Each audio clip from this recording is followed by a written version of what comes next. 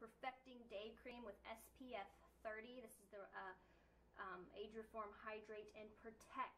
This has anti-aging properties. It's super, super moisturizing. This is probably the most moisturizing day moisturizer. That kind of tripped me up a little bit.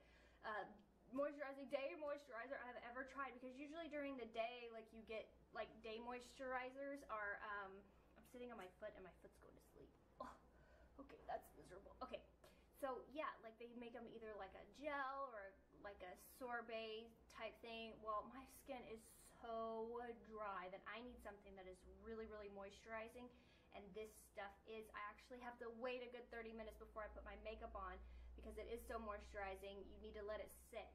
Um, in your skin because if you just go ahead and apply your makeup, it's gonna kind of just start wiping off, like removing itself because the stuff is so moisturizing. So I really, really like this.